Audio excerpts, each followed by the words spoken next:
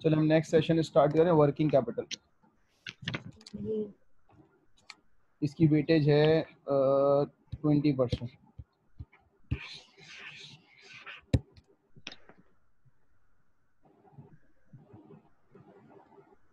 अच्छा working capital क्या होता है कि बिज़नेस को बिज़नेस रन करने के लिए जो हमें कैपिटल चाहिए होता है, एक तो होता है फिक्स कैपिटल फिक्स कैपिटल ये होता है, जैसे प्लांट मशीनरी बिल्डिंग्स वगैरह जो कि एक दफ़ा इन्वेस्ट हो जाता है बार बार रिक्वायर्ड नहीं होता।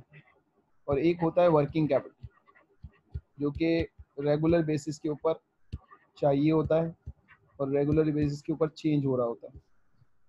वर्किंग कैपिटल की एग्जांपल हम ये ले सकते हैं, या इस तरह से इसको ले सकते हैं कि हम गुड्स परचेज करते हैं उन गुड्स को कन्वर्ट करते हैं, यानी कि गुड्स की एग्जांपल है रॉ मटेरियल रॉ मटेरियल ख़रीदते हैं, उसको कन्वर्ट करते हैं फिनिश गुड्स के अंदर। तो इस प्रोसेस में हमारा पैसा खर्च होता है। फिर वो फिनिश गुड्स बनाकर हम दे देते हैं कस्टमर को। बेच देते हैं। तो कस्टमर हमें इमीडिएटली तो नहीं पैसा देता, ठीक है? क्रेडिट सेल्स होती हैं। तो क्रेडिट सेल्स की वजह से वो हमारे रिसीवेबल्स क्रिएट हो जाते हैं। और एक टाइम आता है कि वो रिसीवेबल से हमें पैसा रिसीव हो जाता है। सो so, गुड्स खरीदने से लेकर जो गुड्स हमने खरीदे हुए होते हैं ये हमने सप्लायर से लिए हुए होते हैं क्रेडिट के ऊपर। तो सप्लायर से गुड्स लेने से लेकर कस्टमर से पैसा आने तक का ये जो पूरा प्रोसेस है ना इसे कहते हैं वर्किंग कैपिटल साइकिल अब इसके अंदर दो महीने भी लग सकते हैं, तीन महीने भी लग सकते हैं, चार महीने भी लग सकते हैं।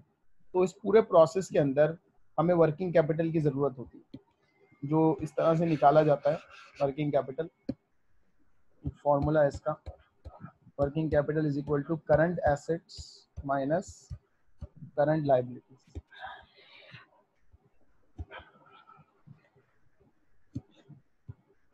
current assets के अंदर हमारे पास दो चीज़ें आ जाती हैं, दो या तीन चीज़ें हम ले सकते हैं करंट एसेट्स में। करंट एसेट्स के अंदर हमारे पास यूजुअली आ जाती है इन्वेंट्री स्टॉक क्योंकि गुड्स पहले हम स्टॉक में डालते हैं और रिसीवेबल्स और फिर उसे क्रेडिट के अंदर बेच देते हैं।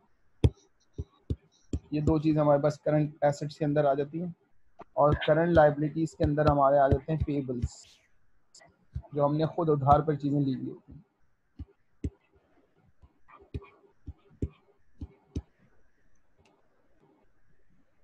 जैसे फॉर एग्जांपल आसान अल्फाज में हम ये कह सकते हैं कि मैंने एक शख्स से गुड्स लिए उधार दस दिन के लिए और दस दिन के बाद मुझे उसको पेमेंट करनी है और वो गुड्स उठाकर किसी और को मैंने पंद्रह दिन के लिए उधार पर दे दिया।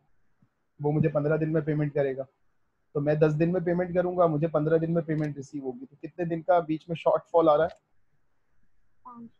पाँच दिन का जो शॉर्ट फॉल है ना दिस रिप्रेजेंट्स वर्किंग कैपिटल इसके लिए हमें कैपिटल चाहिए। अब इसके इससे इसके हवाले से हम चीज़ें डिस्कस करेंगे कि वर्किंग कैपिटल क्या होता है साइकिल क्या होती है। वर्किंग कैपिटल साइकिल ज़्यादा हो जाए तो क्या होगा कम हो जाएगा तो क्या होगा कैलकुलेट कैसे करते हैं इससे रिलेटेड रेशियोज वगैरह कैसे कैलकुलेट करते हैं सही? अच्छा अब इसमें सबसे इम्पोर्टेंट चीज़ है working capital related ratios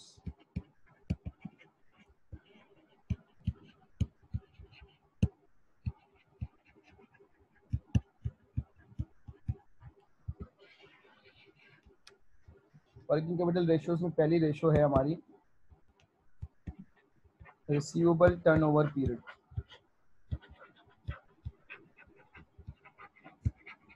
debtors turnover period या रिसीवेबल टर्नओवर पीरियड इसको कैलकुलेट करने का फॉर्मूला है इसमें हम लेते हैं average receivables divided by credit sales multiply by 365 days.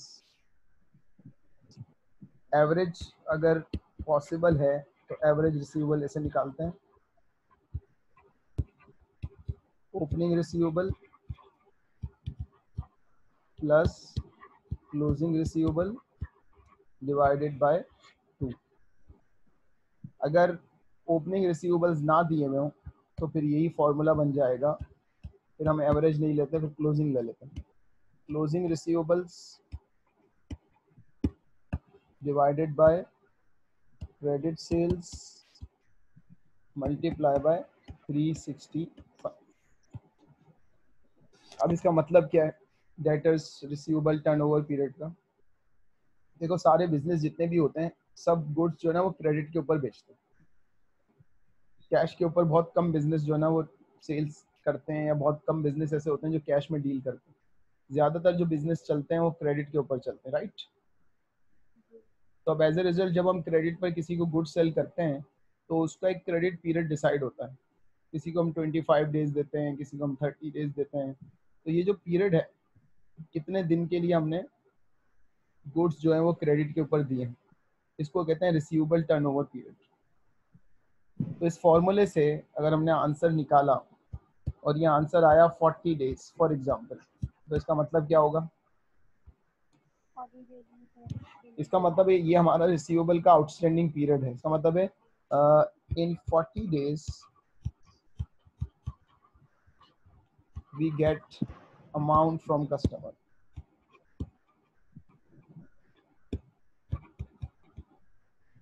इसका मतलब है फोर्टी डेज़ के लिए तो हमारा पैसा कस्टमर के पास चला गया ना। गुड्स की फॉर्म में। तो हमें इन फोर्टी डेज़ के लिए फंड्स की ज़रूरत पड़ेगी, क्योंकि हमारा पैसा तो कस्टमर के पास पड़ा हुआ है। और हमें नए गुड्स बनाने हैं तो हमें फोर्टी डेज़ के लिए वर्किंग कैपिटल चाहिए, ठीक है? अच्छा जितना कस्टमर डिले करता है यानी कि जितने रिसीवेबल डेज़ ज़्यादा होंगे, उतना हमारे लिए प्रॉब्लम होगा। क्योंकि जितना कस्टमर डिले करेगा, उतना हमारे लिए प्रॉब्लम होगा। जितना कस्टमर जल्दी पे करेगा, उतना हमारे लिए अच्छा है। तो हमारी कोशिश ये होती है कि कस्टमर को गुड्स बेचे जाएँ तो जल्द से जल्द पैसा उनसे रिकवर किया जाए। अच्छा बाज दफ़ा ऐसा होता है कस्टमर जानबूझकर पेमेंट नहीं करता, उसकी वजह से डिले हो रहा होता है। तो ये हम आगे जाके डिस्कस करेंगे कि रिसीवेबल को मैनेज कैसे करते हैं। अगर एक कस्टमर टाइमली पेमेंट नहीं कर रहा तो क्या किया जाए? क्या उसको डिस्काउंट ऑफ़र किया जाए? अगर उसको आ, उस पर केस करना है ये सारी चीज़ें इसमें कवर हो जाए अभी तो फ़िलहाल सर ये जो फॉर्मूला में 365 है ये जो है कांस्टेंट वैल्यू साल में कितने दिन होते हैं? 365 नहीं मगर अगर क्वेश्चन में गिवन हो तो फिर जो है 365 ही लेंगे। अगर क्वेश्चन में कुछ नहीं दिया हुआ ना तो साल में 365 डेज़ लिए जाते हैं। लेकिन बाज दफ़ा क्वेश्चन में 360 दिन भी दिए हुए होते हैं। या बाज दफ़ा जैसे वीक्स की इंफॉर्मेशन दी हुई होती है साल में 52 वीक्स होते हैं। तो जो भी इंफॉर्मेशन सवाल में होगी वो ले लेंगे। अगर कुछ ना दिया हुआ हो तो हम 365 ठीक है? तो ये एक रेशो है। रेशो कैलकुलेट इसलिए कर रहे हैं कि हमें वर्किंग कैपिटल साइकिल कैलकुलेट करनी है। लेकिन इस रेशो का भी अपना मतलब है कि कस्टमर कितने टाइम के अंदर हमें पेमेंट करता है, जितना जल्दी करेगा, उतना हमारे लिए अच्छा है, जितना डिले करेगा, उतना हमारे लिए प्रॉब्लम है कि हमें वर्किंग कैपिटल में इन्वेस्टमेंट फंडिंग चाहिए होंगी बैंक से लोन लेना पड़ेगा इसी तरह हमारे पास एक रेशो होती है सेकेंड वन पेबल्स टर्नओवर या क्रेडिटर्स टर्नओवर इन डेज़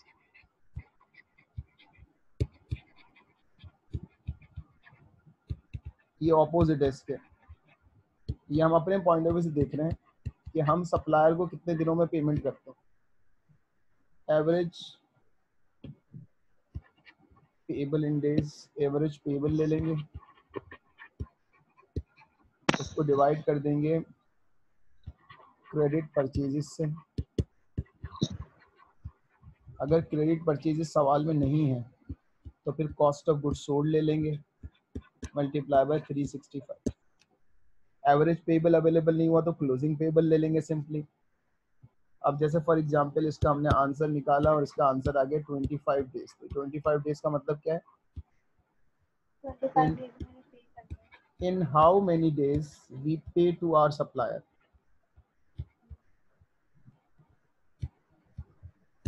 हम अपने सप्लायर को कितने दिनों के अंदर पेमेंट करते हैं? तो इसका मतलब जल्दी करनी चाहिए डिले करनी चाहिए। जल्दी करनी चाहिए। या डिले भी कर दे तो हमारे हमारा फ़ायदा तो है अल्टीमेटली कि हम इसको डिले करेंगे ना तो हमारे लिए फ़ायदा है कि हमें उधार मिल रहा है। लेकिन जितना जल्दी होता है उतना उससे हमें ज़्यादा बेनिफिट्स होते हैं। तो जितना जल्दी करेंगे ना उसका हमें फ़ायदा क्या होगा? अगर सप्लायर को अर्ली पे करेंगे तो फ़ायदा क्या होगा? हमें डिस्काउंट मिल जाएगा। सप्लायर से हमारे रिलेशनशिप अच्छे होंगे सप्लायर के साथ।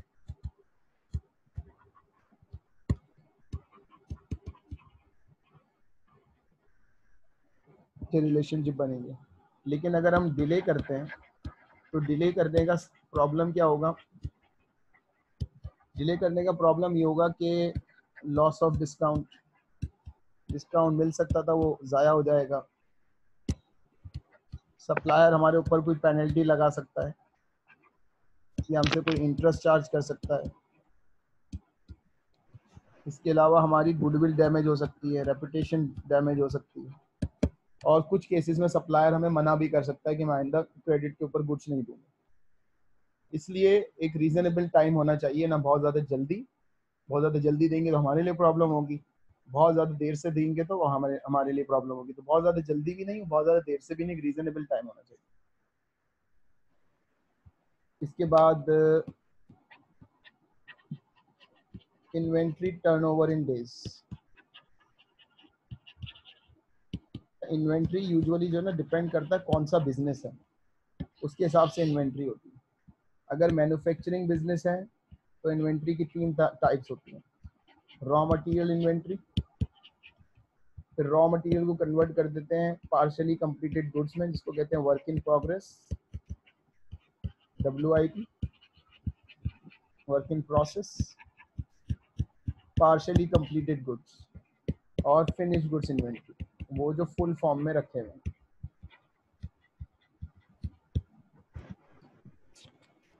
लेकिन अगर for example finish goods trading business है, दो तरह के बिज़नेस होते हैं।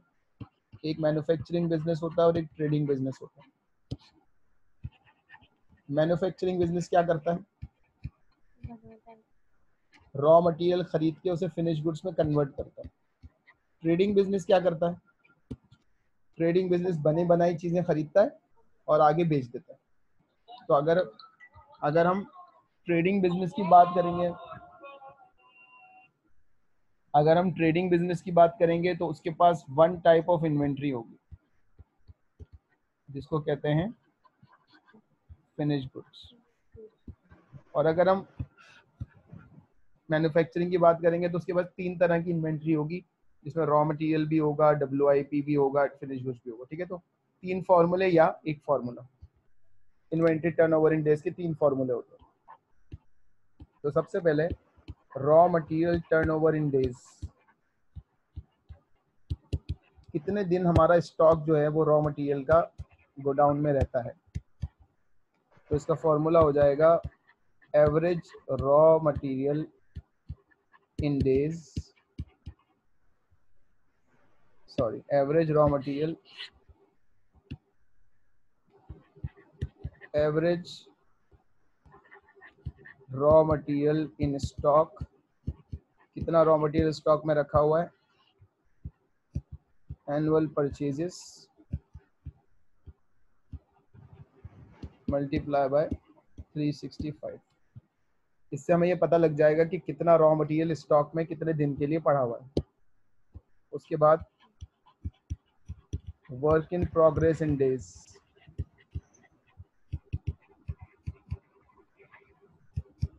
इसको time taking to produce goods भी कहते हैं।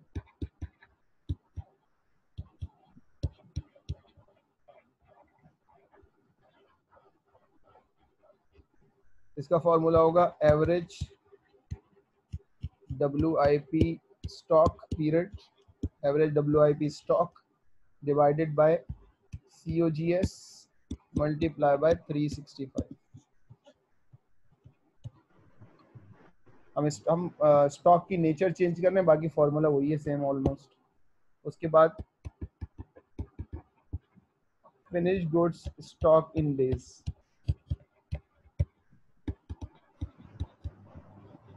इसका फॉर्मूला क्या बनेगा? एवरेज फिनिश गुड स्टॉक जहाँ एवरेज अवेलेबल नहीं होगा, वहाँ क्लोजिंग लेते हैं राइट ये तीन फॉर्मूले आ गए स्टॉक के। तो अगर मैन्युफैक्चरिंग बिज़नेस होगा तो तीनों फार्मूले लगेंगे, और अगर ट्रेडिंग बिज़नेस होगा तो एक फार्मूला लगेगा। मतलब क्या है इन सब का for how many days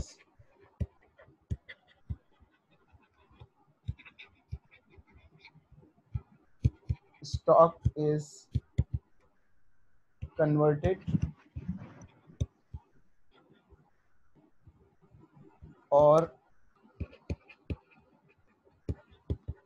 transfer to next level जैसे अगर हम फिनिश गुड की एग्जांपल लें तो एवरेज फिनिश गुड्स पीरियड ये बताता है कि कितने दिनों के अंदर हमारे फिनिश गुड्स स्टॉक जो है वो बिक जाता है। जल्दी बेचेंगे अच्छा है, देर से बेचेंगे ज़्यादा अच्छा है।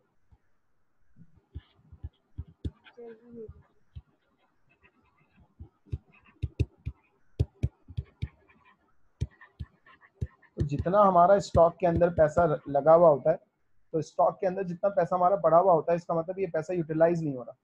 ये पैसा टाई अप हो चुका है, इसकी जगह अगर हम इसे जल्दी बेच देते हैं तो जल्दी पैसा रिकवर होगा और आगे हम नए गुड्स बनाएँगे और आगे जल्दी बेचेंगे। तो ये साइकिल होती है ना, ये तीन चीज़ों पर डिपेंड कर रही है। स्टॉक पे डिपेंड कर रही है मटेरियल उस पर रिसीवेबल्स पे डिपेंड कर रही है और पेबल्स पे डिपेंड कर रही है। अब इन फॉर्मूलों को यूज़ करते हुए हम निकालेंगे।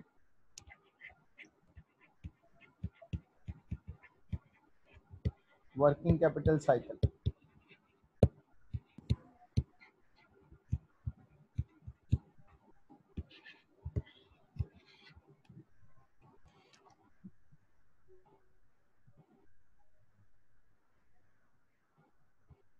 इसकी डेफिनेशन होती है time required between purchasing of raw material from supplier. Time between purchasing of raw material from supplier till cash received from credit customer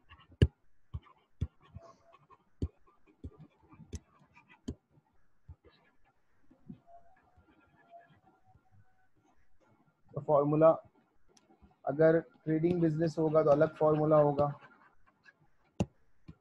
और अगर मैन्युफैक्चरिंग बिज़नेस होगा तो अलग फार्मूला होगा।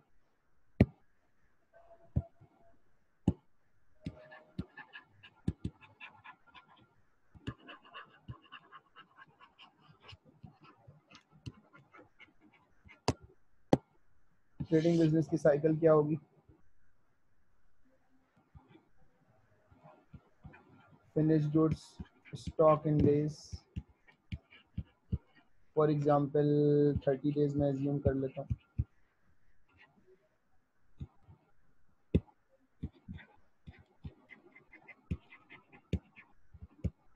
Receivable in days forty assume कर लेता हूँ।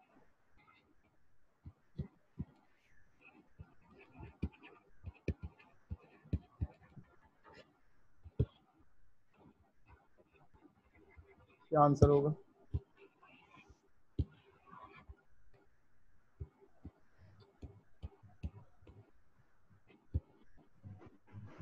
Seventy minus thirty.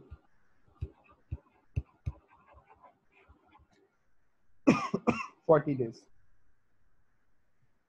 इसी तरह अगर मैन्युफैक्चरिंग की वर्किंग कैपिटल साइकिल निकालनी है तो वो लंबी होती है ज़्यादा।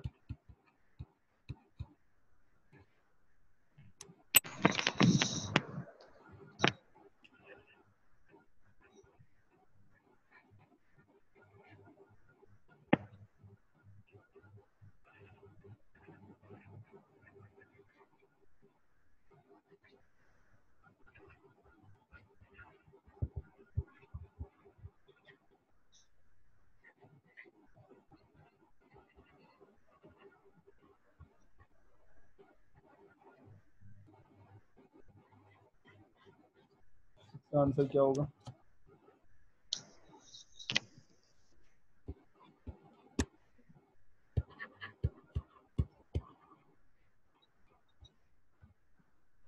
अब एक वर्किंग कैपिटल साइकिल आ रही है 65 डेज़ की और एक वर्किंग कैपिटल साइकिल आ रही है 40 डेज़ की। तो इसका मतलब क्या हुआ? इसका मतलब हुआ कि अगर मैं इसकी एग्ज़ाम्पल लूँ तो हमें 40 डेज़ के लिए वर्किंग कैपिटल चाहिए।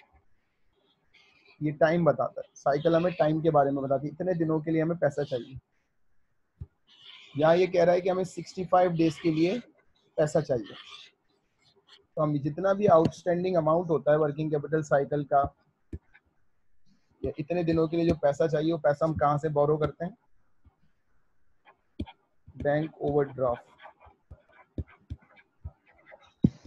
और उस बैंक ओवरड्राफ्ट के ऊपर हमें इंटरेस्ट पे करना तो इसका मतलब ये हुआ कि जितनी वर्किंग कैपिटल साइकिल की लेंथ ज़्यादा होगी उतना हमारे लिए प्रॉब्लम होगा। हमें ज़्यादा बैंक ओवरड्राफ्ट चाहिए होगा और हमें उसके ऊपर ज़्यादा इंटरेस्ट पे करना पड़ेगा। अब अगर फॉर एग्जांपल में जी बोले। ये जो डेज़ आपने लिए ये फॉर्मूले से निकालेंगे ना? हाँ ये अभी मैं एग्जांपल करवाता हूँ ना तो अगर ये हमें दिया हुआ होगा तो हम इसको फॉर्मूले से कैलकुलेट करें अब अगर मैं ये पूछूँ कि ये बताओ कि ये डेज़ रिड्यूस कैसे कर सकते हैं? इन्वेंट्री के रिसीवेबल्स के तो हमें पता होना चाहिए कि डेज़ को कैसे हम आगे पीछे कर सकते हैं।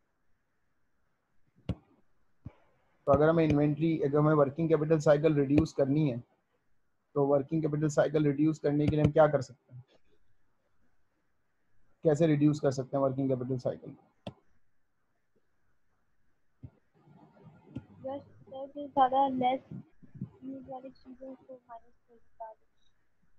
पहले तो ये देखेंगे वर्किंग कैपिटल साइकिल में कंपोनेंट्स क्या क्या हैं, ठीक है? जैसे इन्वेंट्री है रिसीवेबल्स है पेबल्स हैं रॉ मटेरियल है, और फिर हम उससे, उसके रिलेटेड पॉलिसीज़ बनाएँगे। जैसे फॉर एग्जांपल अगर मैं कहूँ कि कस्टमर्स जो हैं कस्टमर से हम हम जल्दी कैश रिसीव करना चाहते हैं। तो कस्टमर से जल्दी कैश कैसे रिसीव करें? तो हम ऐसी पॉलिसीज़ बनाएँगे कि कस्टमर हमें टाइमली जो है वो जल्दी कैश देते इसी तरह इन्वेंट्री को जल्दी कैसे बेचा जाए सप्लायर को डिले कैसे किया जाए, वगैरह वगैरह। सही है? अब इस पर सवाल कर लेते हैं।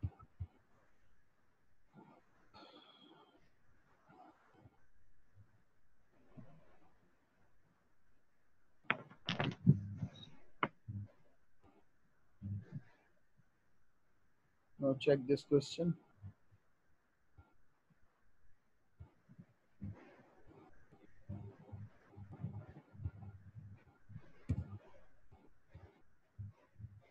The following information relates to company X. Trade receivable collection period 54 days. Raw material inventory period, WIP turnover period, WIP turnover period, finished goods inventory turnover period. अच्छा जी यहाँ पर तो दो दो डब्ल्यू आई पी दिए गए दो दो डब्ल्यू आई पी होने तो नहीं चाहिए ये दो दो डब्ल्यू आई पी कहाँ से आ गए? मुझे लग रहा है सवाल में गड़बड़ है। वन मिनट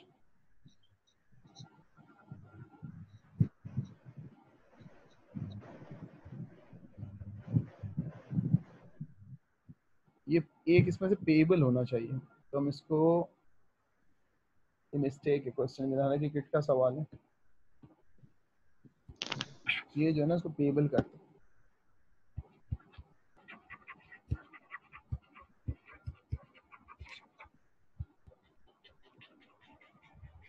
अब बताओ क्या होगा? फॉर्मूला लगाएँ। कौन सा लगाना? मैन्युफैक्चरिंग वाला फॉर्मूला ट्रेडिंग वाला फॉर्मूला ट्रेडिंग वाला ट्रेडिंग में तो WIP नहीं होता। मैन्युफैक्चरिंग में डब्ल्यू आई पी होता है। तो इसका मतलब है रॉ मटेरियल इन डेज़ लेंगे। रॉ मटेरियल इन डेज़ हैं 46 W I P in days add कर देंगे। Finish good in days add कर देंगे। रिसीवेबल इन डेज़ ऐड कर देंगे। और पेबल वाले डेज़ माइनस कर देंगे। इसका आंसर निकाल लो।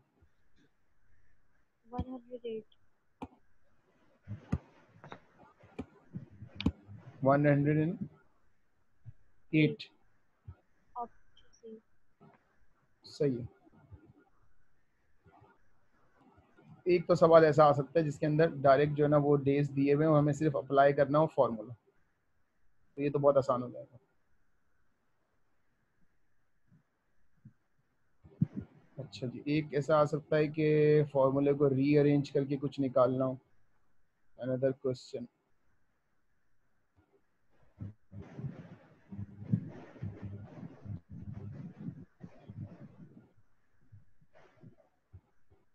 ये देखें। इसमें क्या निकालना है?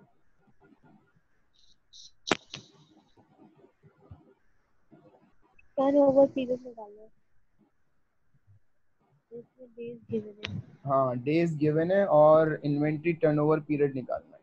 तो टोटल आंसर दिया हुआ है कलेक्शन का आंसर दिया हुआ है पेबल का आंसर दिया हुआ है मिसिंग फिगर इन्वेंट्री की निकालनी है। फॉर्मूला बना लेते हैं। Working capital cycle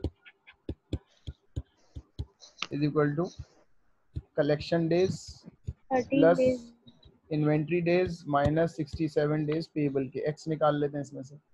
तो 102 is equal to 54 plus x minus 67 कितने होंगे?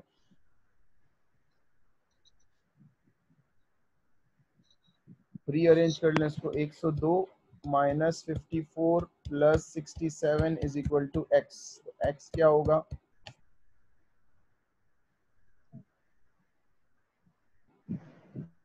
थर्टीन? जी।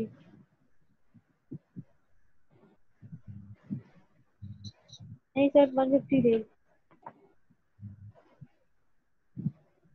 option B answer ये आ रहा है जी सॉल्व करने के बाद 115 जी। 115 अच्छा फाइव अब फॉर्मूला अप्लाई कर लेते हैं कैलकुलेट करने को दिया जाएगा तो कैसे कैलकुलेट करेंगे?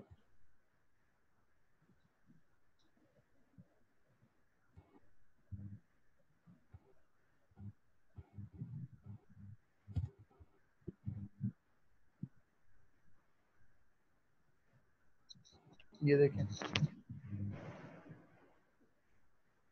क्या निकालना है? कैपिटल दो फार्मूला हमें चाहिए इन्वेंट्री इन डेज़ निकालना है यानी कि वो फिनिश गुड्स की बात कर रहा है और रिसीवेबल इन डेज़ का निकालना तो एक इन्वेंट्री वाला फार्मूला और एक रिसीवेबल वाला फॉर्मूला इन्वेंट्री वाले फार्मूले के लिए हमारे पास क्या फॉर्मूला था? इन्वेंट्री इन डेज़ निकालने का। Average inventory average stock divided by COGS multiply by 365 data है? Average inventory inventory of finish goods cost of goods sold दोनों चीज़ें दी हुई हैं। तो एवरेज की जगह हम क्लोजिंग लेंगे ना क्योंकि एवरेज के लिए तो ओपनिंग स्टॉक भी चाहिए वो है नहीं। जी।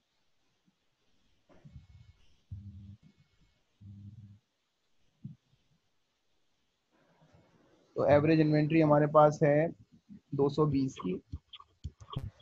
COGS है हमारे पास 1800 का इसको 365 से मल्टीप्लाई कर। Find out the answer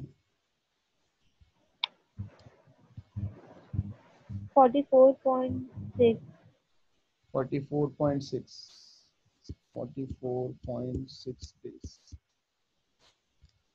अच्छा रिसीवेबल इन डेज़ का फॉर्मूला क्या बनेगा?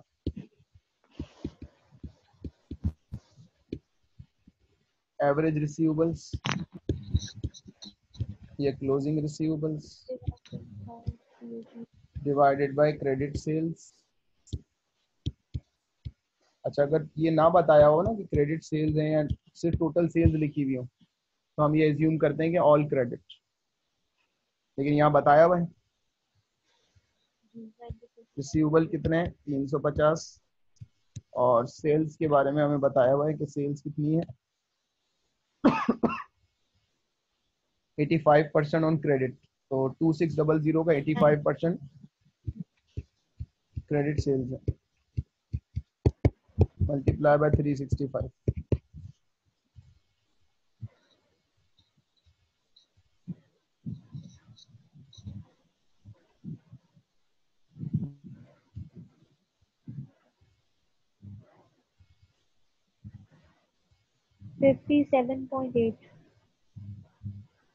57.8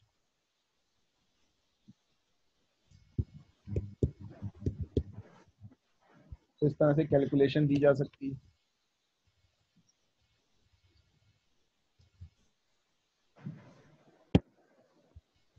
ये देखिए।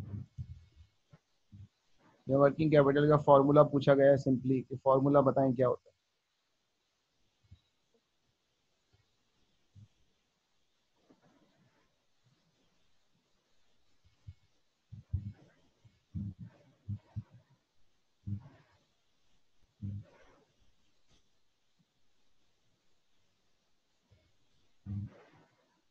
क्या होगा answer? Sir C. Inventory days plus account receivable days minus accounts payable days C में क्या दिया हुआ है? इन्वेंट्री डेज़ प्लस अकाउंट्स नहीं सी गलत हो गया ना। पेबल प्लस नहीं होता माइनस हो। ए इन्वेंट्री और रिसीवेबल प्लस होता है पेबल माइनस ठीक है? अच्छा बाज दफ़ा क्या होता है, अभी हमने जो डेटा देखा तो उस डेटा के अंदर ने हमसे ये पूछा कि वर्किंग कैपिटल साइकिल निकाल दो। तो हमने वर्किंग कैपिटल साइकिल निकालने के लिए हमारे पास इन्वेंट्री की इंफॉर्मेशन है रिसीवेबल की इंफॉर्मेशन है, सारी इंफॉर्मेशन हमें दी। है तो बाज़ दफ़ा ये होता है कि हमें डेज़ दे दिए जाते हैं और डेज़ देने के बाद हमसे ये कहा जाता है कि हम उस डेज़ की बेसिस के ऊपर वर्किंग कैपिटल निकाल दें रिसीवेबल की वैल्यू निकाल दें इन्वेंट्री की वैल्यू निकाल दें या पेएबल की वैल्यू निकाल दें तो फिर क्या करेंगे?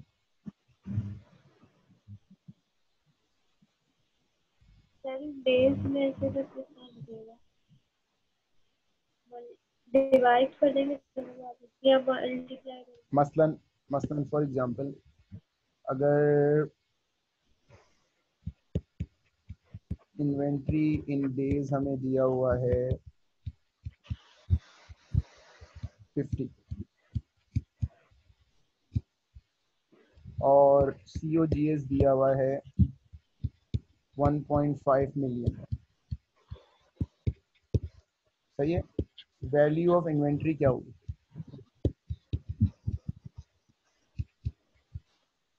ये निकाल। एक तो तरीका ये कि हम फॉर्मूले में डाल दें। लेकिन फॉर्मूले में डालने से बेहतर ये है कि हमें ये पता है कि 1.5 मिलियन जो सी ओ जी एस है ना वो एक साल का होता है ना। तो हम उसको 365 डेज़ से डिवाइड कर दें तो एक साल का आ जाएगा। उसको 50 दिन से मल्टीप्लाई कर।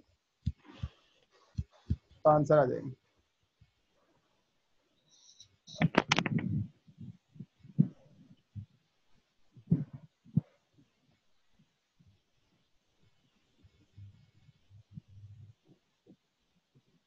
कितना होगा answer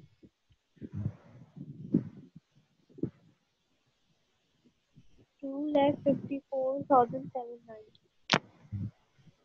254 two lakh two 205 four seven nine ये हमारे पास आ गई। इतनी इन्वेंट्री हमारे पास बैलेंस शीट में रखी। इसी तरह इसी तरह। हमें रिसीवेबल टर्नओवर इन डेज़ दिया हुआ है।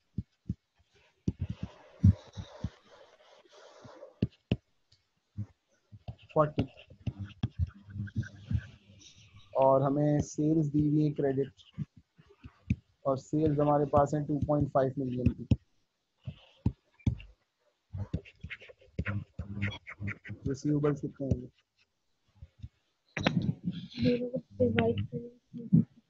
तो हमने कहा कि 2.5 मिलियन जो है ना, वो 365 डेज़ के लिए है। एक दिन के रिसीवेबल्स आ गए। और उसको 40 से मल्टीप्लाई कर two seven three nine seven two seven three. Nine seven two. ये हमारा रिसीवेबल आ गया। इसी तरह हमें पेबल की इंफॉर्मेशन दी हुई है कि पेबल जो है वो 25 डेज़ हैं। और क्रेडिट परचेजेस की इंफॉर्मेशन दी हुई है। कि क्रेडिट परचेजेस हमारे पास जो है, वो हैं 1.2 मिलियन तो उसमें हम क्या करेंगे? 1.2 मिलियन हमारे पास जो परचेजेस हैं, वो 365 डेज़ की हैं। एक दिन की परचेजेस निकाल ली और उसको 25 डेज़ से मल्टीप्लाई कर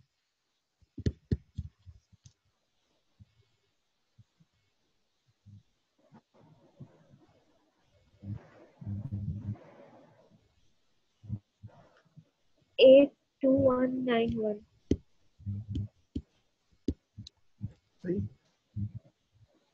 अब हम ये फाइंड आउट करते हैं कि हमारी वर्किंग कैपिटल रिक्वायरमेंट कितनी डेज़ दे के उसने रिक्वायरमेंट पूछ ली। रिक्वायरमेंट दे के डेज़ पूछा जा सकता है। तो हमारी वर्किंग कैपिटल रिक्वायरमेंट अगर हमें निकालनी हो रिक्वायरमेंट हमें अमाउंट में निकालनी होगी तो अगर हमें अपनी वर्किंग कैपिटल रिक्वायरमेंट निकालनी हो तो उसका फॉर्मूला होगा current assets minus current liabilities current assets में हमारे पास इन्वेंट्री है two zero five four seven nine की। Two zero five seven four nine की इन्वेंट्री आ गई। इसमें हमने रिसीवेबल ऐड कर दिए रिसीवेबल आ गए two seventy three nine seven two और इसमें से हमने पेबल माइनस कर दी। Eighty two one nine one answer क्या होगा?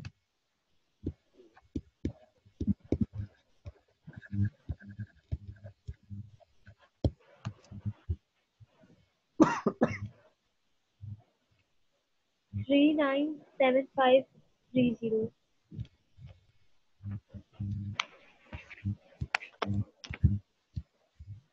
इसका मतलब क्या होगा? इसका मतलब ये है इसका मतलब ये है कि जितने भी दिनों के लिए हमें पैसा चाहिए, उसकी वर्थ कितनी है, उसका अमाउंट कितना है? Three nine seven five three zero तो रिक्वायरमेंट का मतलब है कि ये पैसा हमें कहाँ से लेना पड़ेगा? ये पैसा हमें बैंक से बोरो करना पड़ेगा। बैंक ओवरड्राफ्ट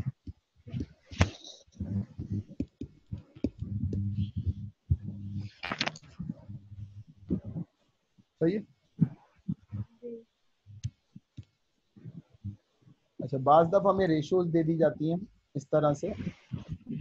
और हम उससे कमेंटिंग करते हैं परफॉर्मेंस को इवेल्युएट करते हैं कि हमारी परफॉर्मेंस अच्छी है या बुरी है।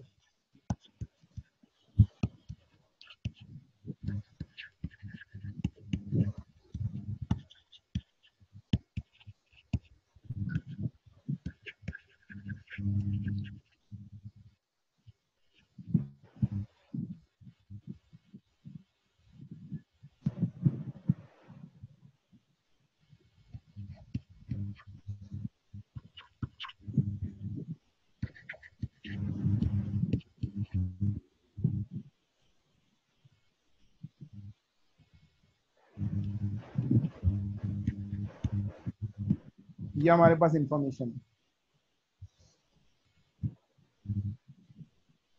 फॉर एग्ज़ाम्पल अब इसकी वर्किंग कैपिटल साइकिल निकाल लेते हैं दोनों सालों की। तो एट की वर्किंग कैपिटल साइकिल क्या होगी?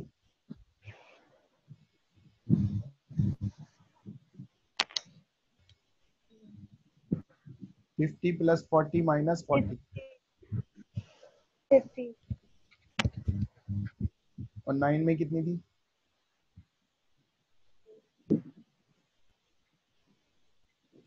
एटी। अब हम इस पर कमेंट करते हैं। क्या हुआ? तो पिछले साल हमारे पास इन्वेंट्री का जो पीरियड था तो 50 दिन में हमारी इन्वेंट्री स्टॉक में रहती थी उसके बाद बिक जाती थी। सही है? अब हमारी इन्वेंट्री 60 दिन में बिक रही है। अच्छी बात है बुरी बात है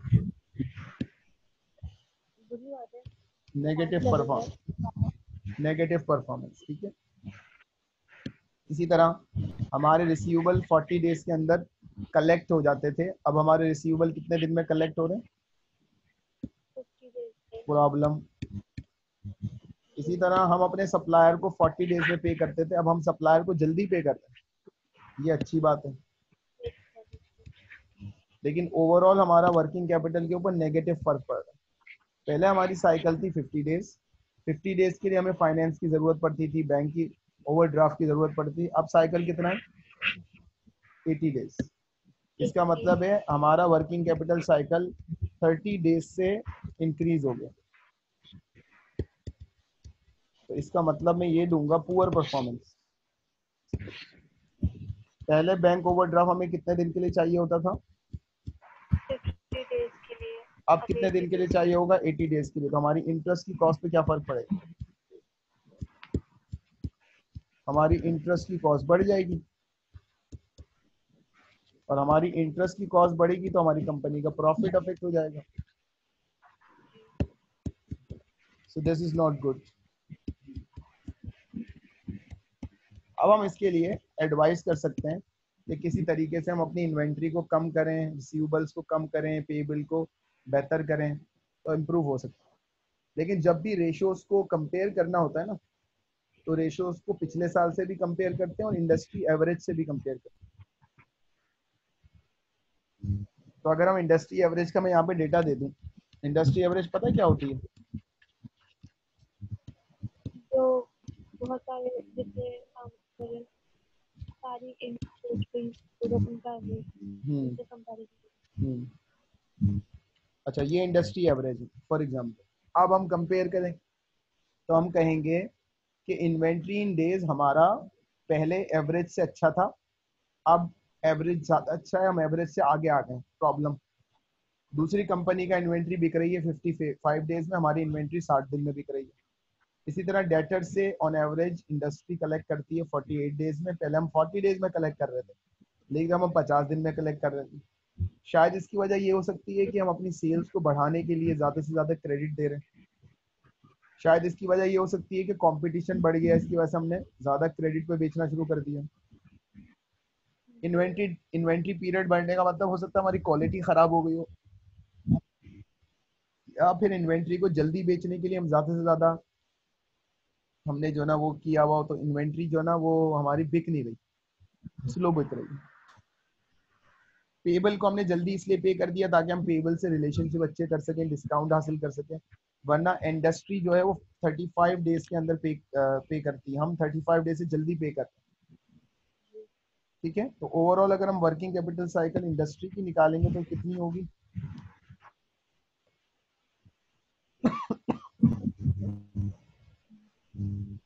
Sixty eight days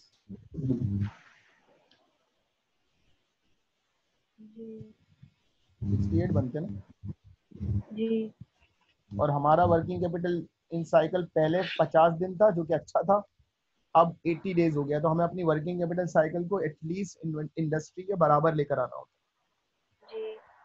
अब हम पॉलिसी ऐसी बनाएँगे कि जिससे हमारी इन्वेंट्री बेहतर हो जाए हमारे रिसीवेबल्स बेहतर हो जाए और हमारे जो है पेबल्स को हम टाइमली पे कर सकें।